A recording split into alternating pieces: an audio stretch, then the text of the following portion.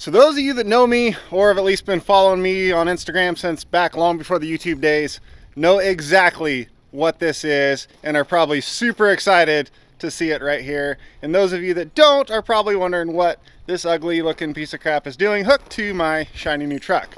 Well, we're gonna get into all that, go over it here in just a minute and, uh, and check this thing out because it has been a while. This is a, I don't even remember what year, BWS air powered ramp trailer that I custom spec'd out uh, quite, quite a few years ago to exactly what I wanted for the type of work I was doing.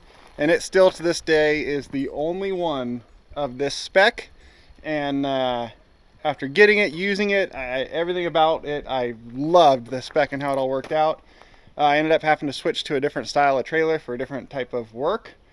And uh, I sold this to a guy way up in Oregon in another state, long away where, where I'd never see it again.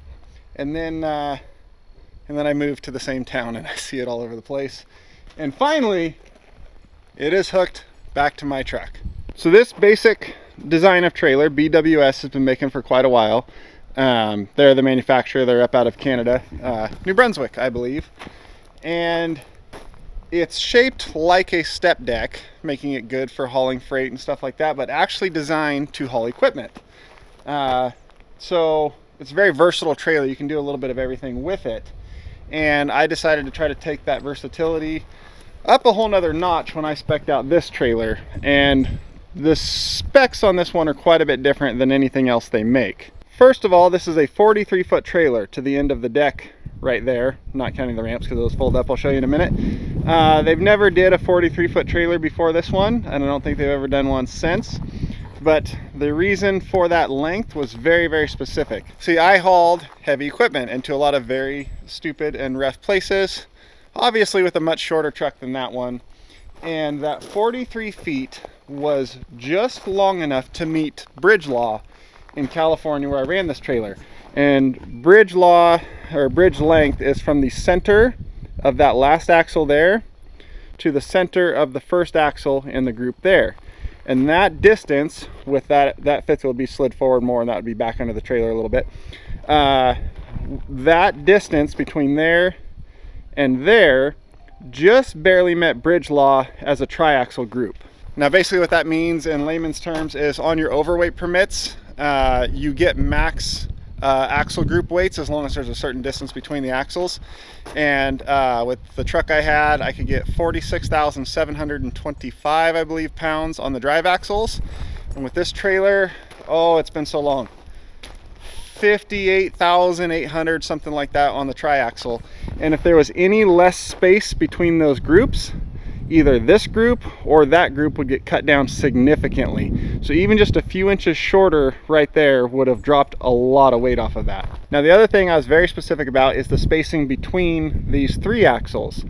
Uh, that also plays into bridge law because the bridge law distance uh, as a triaxle behind a tandem and as a tandem axle behind a tandem is very different. So that's a lift axle right there and with it down, making this a triaxle group, we're like dead on the minimum. And with it up, the bridge law requires a bigger spacing. But the distance between that axle and that axle makes it so when this is up, you're again just within a few inches of the minimum for tandem axle bridge law, and you're still able to get 46,000 again, I believe, on these two axles right here with that one up. Meaning basically, if you can fit it on this trailer, without being like way too tall, you're legal to haul it on your annual overweight permits. Now, luckily, with it now being up in Oregon, that bridge law spacing is very, very similar, and this actually, this distance works out up here as well. So again, it's as short as you can go while still maximizing your permitted axle weights on your overweight permits. Now there's still a pretty good bit of distance from there to there, which there needs to be to get your, your permit weights. Uh, and I still need to get in some very tight places. So after I got it delivered from BWS, I tore into that whole axle group and I did some some custom stuff in there that makes this trailer act like a steerable trailer without any of the axles actually steering. And I'll cut some clips in here. Uh, I'll to dig back through my Instagram and find of how this thing would go around corners and the whole back end of this trailer would just move right around to the outside of the turn. and act like a steerable to get into some crazy tight places.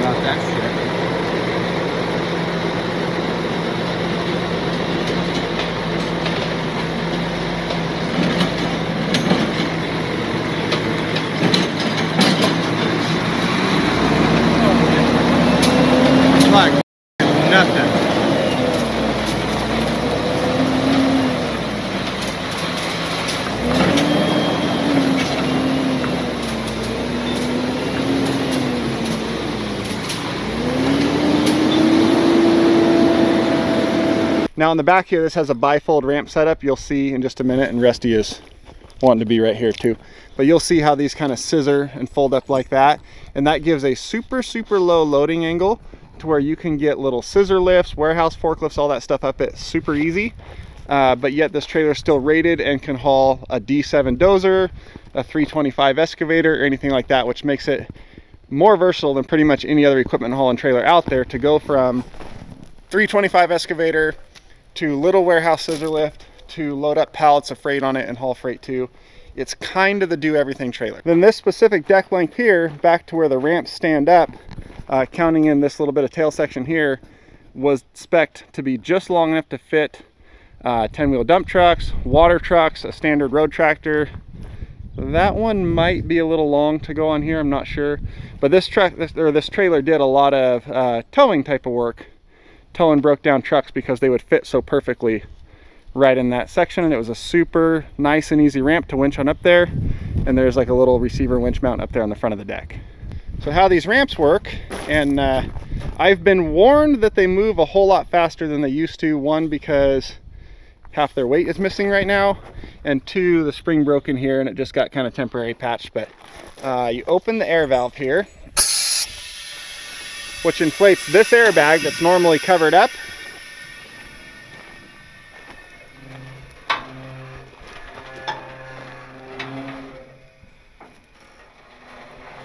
And now when those are adjusted just right, that actually comes off the ground with it and then starts to come in so it doesn't drag on the ground like that.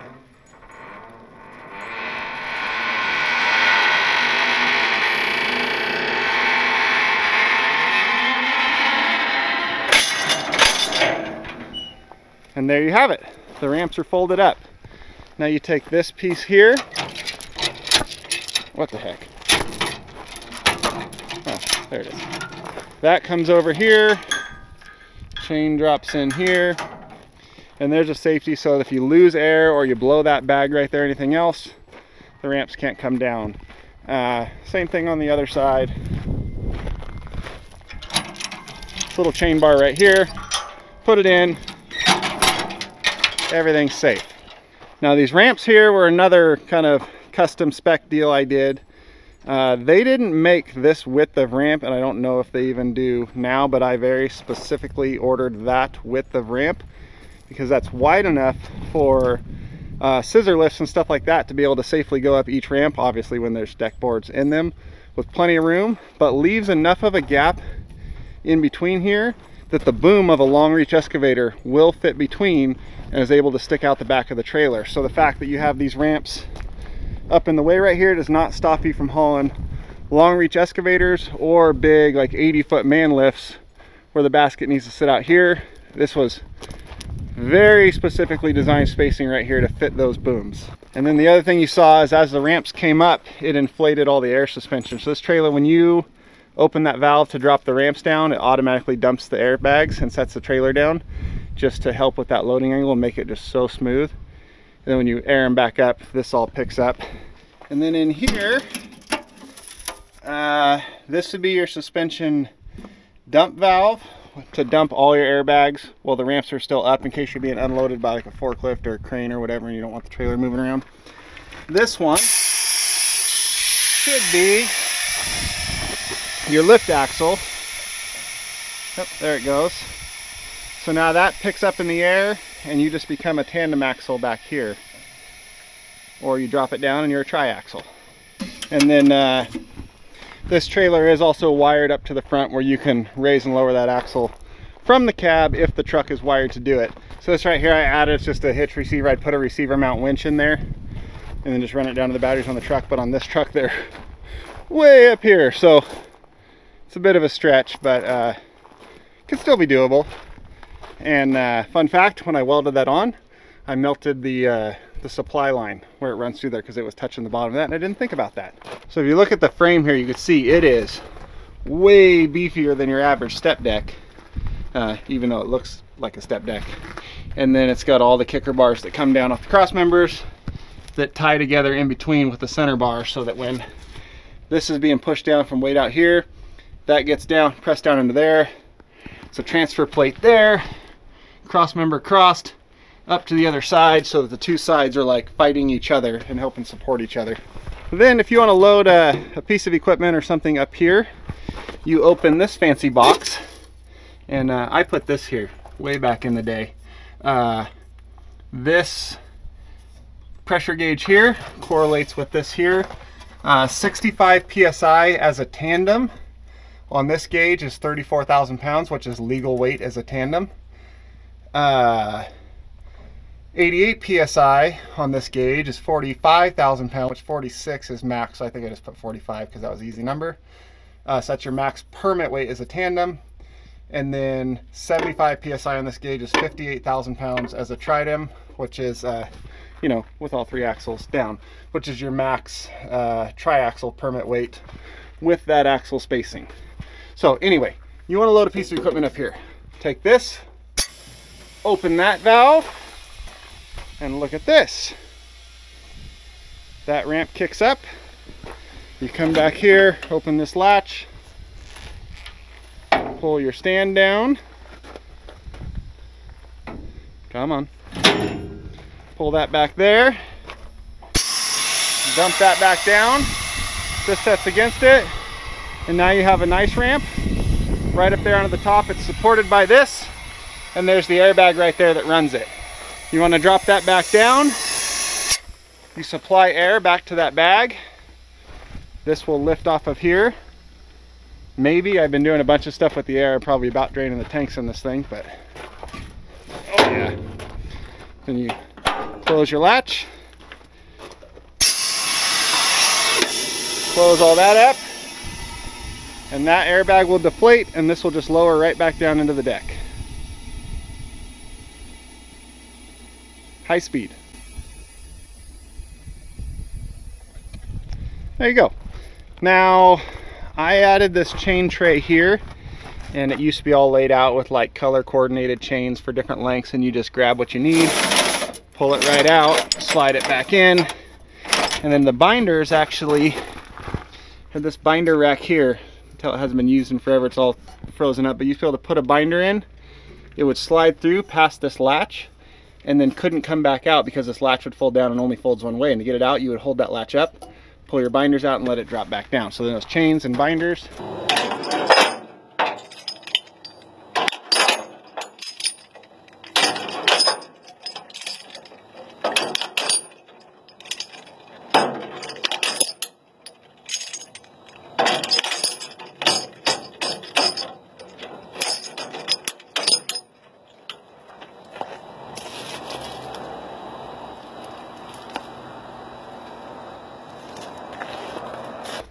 this trailer has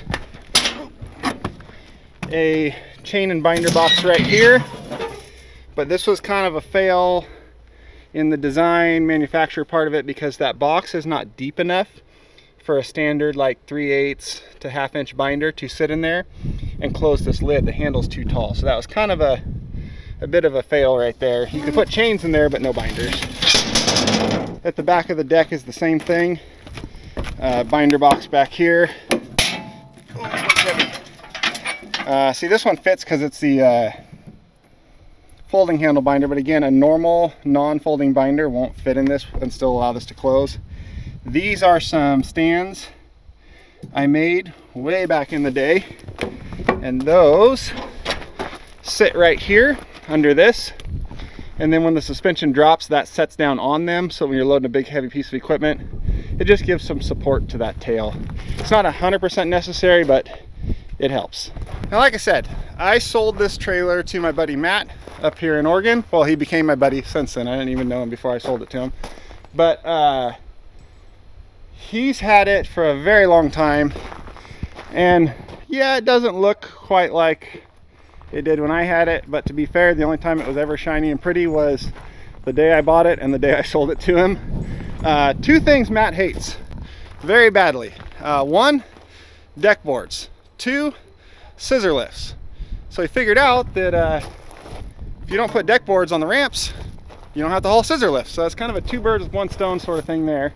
So he just, he took all the deck boards off the ramps and uh, Matt owns Tumalo Transport. He's got a bunch of brand new and fancy trailers and drivers and trucks in them and all that stuff. They, they go haul all kinds of stuff. This is the trailer Matt tows personally when he needs to go out and do stuff. And then he doesn't have to haul scissor lifts. The drivers can go do that.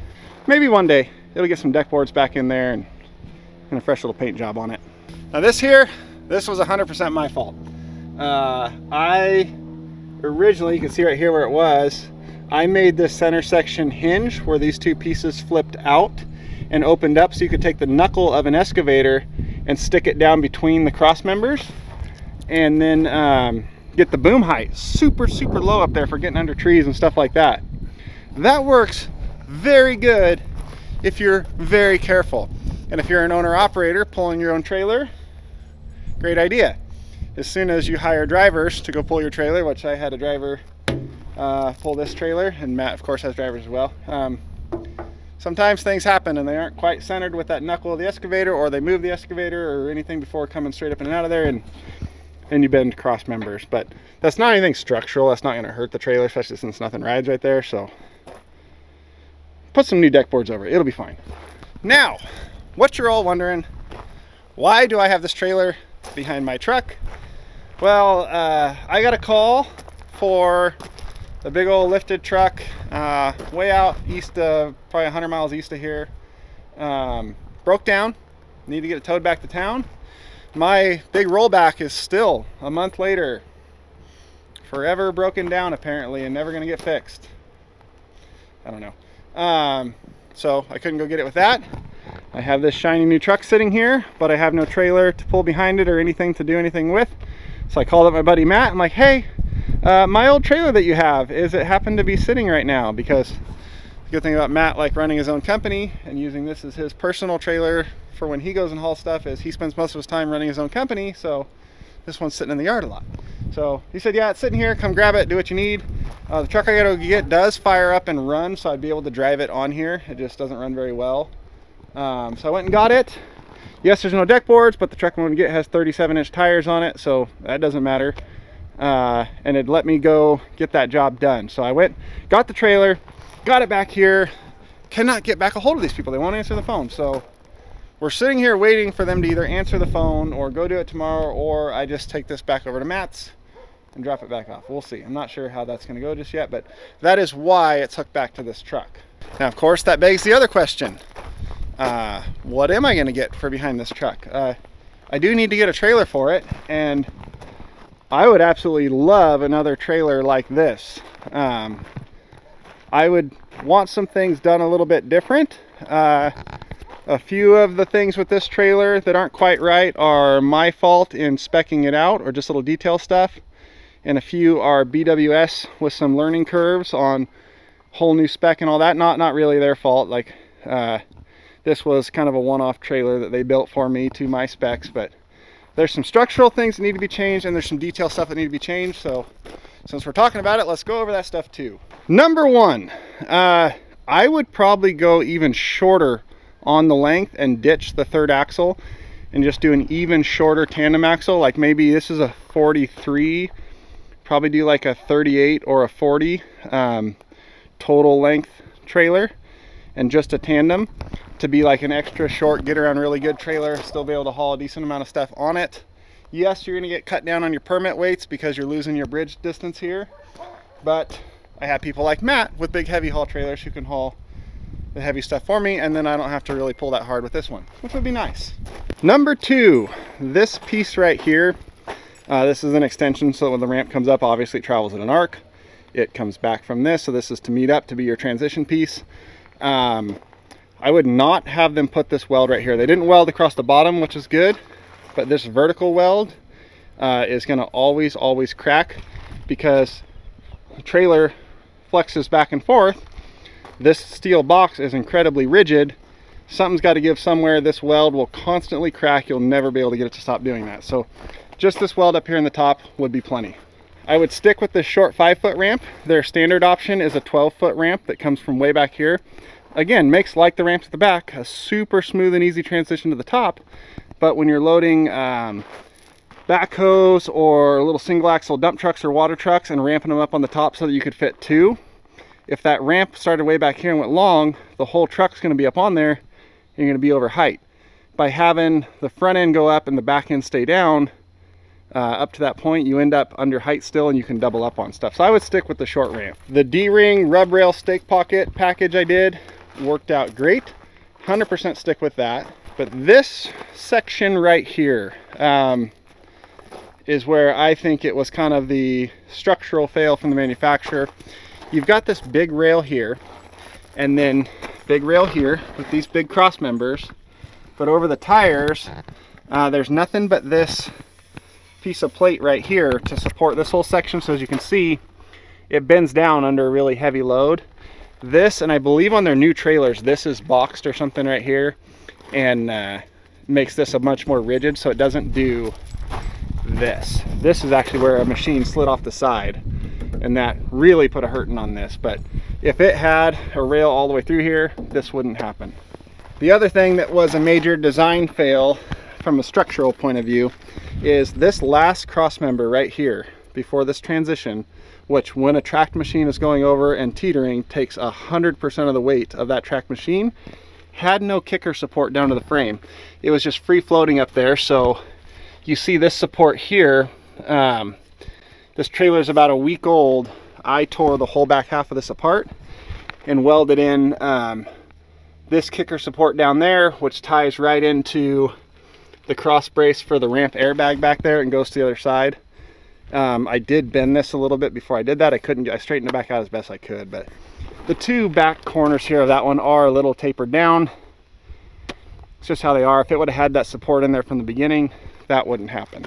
Another thing I would not do again is the bifold ramps. Yes, that makes a super long transition, but it's almost too long. I would rather this be another foot and a half, two feet longer and just a single one drop down ramp. Uh, it would give plenty of uh, low load angle to get stuff on it, but it would also allow you to drop them down onto a loading dock or different elevation of terrain or something like that to be able to get like a forklift out of a warehouse or something. So I wouldn't do that bifold setup again. And this, this bar needs to go. You can see it's bent. And exactly how it gets bent is when you pull it out of here, you're supposed to set it right there. Your chain hangs down. But one, if a machine slides off and hooks this, you're gonna bend it. Two, if you're not paying attention and it drops down like that, then you flip your switch to drop your ramp so the trailer drops the airbags it just buckles it into the ground right there. So this should not have this bar and then a section of chain. It should just be a section of chain from here to here. When we take it off, the chain can just hang down, kind of like it does right there, and then nothing would matter. It's just a piece of chain that's gonna sit on the ground as this drops down, no big deal. I would keep the exact spacing I did with the exact ramp size I did because that did work well for scissor lifts here and boom sticking through there Ooh, ooh, I know the other thing. Uh, this ramp switch. This probably bugged me more than anything, even though it was the most minor of all of them. And I really could have fixed it myself. I really wanted to. But the dump switch for the ramps needs to be on the other side of the trailer. Because uh, how this works is you get out of your truck, you walk back down the side, you take this chain off, then you go around over here like this, take this chain off, then you got to go back around over here like this, and dump your ramps. If it was on that side, you could get out of your truck, walk by, take this one off, take that one off, flip your switch, ramps go down. So that, so that, that should be on the other side. Then of course, as I said, with the sun right in my face right there, uh, those uh, chain boxes up here and back there uh, need to be a whole lot deeper or somewhere else on the trailer because that would only work if you had all folding handle binders, but I I am bothered by the folding handle binders. I don't really like them. Of course, that's what's on this trailer if I end up having to go use it to do this, this recovery off out there in the desert, but well, that's fine. Ooh, I remember what else. This box right here, this is all your suspension controls, everything back here. This box was mounted to hang way down here. And if you're gonna drag a trailer on the ground, this is where it's gonna drag the worst. You can see the holes right here where these two air lines used to come through here and into the box right there. And the two right here where these used to come out and go through there. Now that hung down, and when I first got this trailer delivered, uh, after ordering, inspecting it out and waiting for it to get built and all that, I looked at that and go, I'm gonna hit that so quick. And in all the time I had this trailer, and all these stupid places I took this trailer, I never hit that box, not once. And then I made the deal to sell this trailer to Matt. It was done deal, his trailer. I just had to get it delivered up to him. We were waiting for the day we both had available. And I got a call for a, an excavator haul. And uh, my other trailer had a flat tire. So I was like, I'll just take that trailer. Yeah, it's sold. It says, but like, it's an excavator I've hauled on a million times. It'd be fine. What did I do? I railed that box on a curb and mangled it all up underneath there. So that was not fun. But uh, the other one that needs to change is this grader blade right here that basically just drags the ground and grades the road underneath there. I get it has to hang down low because the drop axle bag right there swings down, but there needs to be some other way of doing that that it's not hanging way down off the bottom right there. That's that's also a constant issue. We're having to bend it straight and weld up cracks, all that, or just leave it back out of the way, I guess. But overall, this is an incredibly handy and versatile trailer and what it allows you to do from from decent sized equipment. Like I said, D7 cats, 325 excavators. You could legal on this with, you know, obviously your permits. No problem. Then go haul little scissor lifts. Then turn around and go haul freight. Uh, it's really the do-it-all trailer. And if I was just gonna have one trailer again, this would probably be it. I would probably shorten it up and do a tandem axle just because that would be handier for me specifically and what I need it for now. And uh, it, was really good trailer. I, I would definitely buy one again because a few things like that outer rail right there has been upgraded. The ramp is just, that's all in how you order it. Um, so I, I, would order one of these again or buy one of these again. Um, if I was, you know, in a position to do so. But for now, I'll just borrow Matt's. So anyway, that is the old 830R. I don't know why it has the number 830R on it when I bought it brand new, but they numbered it 830R for some reason. So that's its number. That's my old trailer that I custom designed and spec'd. Well, not design, design, but custom spec'd out. And the specs as far as weights and all that could not have worked out better. That was one of the few things that I've ever gotten right in my life, but uh, it actually worked really, really well. So just some detail stuff, and this is a top-notch trailer. Easily one of the handiest trailers I've ever had. So yeah, this is just me talking about a trailer, but until this lady calls me back to see if I can go get her out of the, the desert, that's all I can do right now. So that'll be it for this one, I guess. And uh, if I get the call to go get that lady, we'll go use this thing. And if not, we'll just go take it back to Matt tomorrow. Either way, thank you guys for watching, and we'll see you at some point.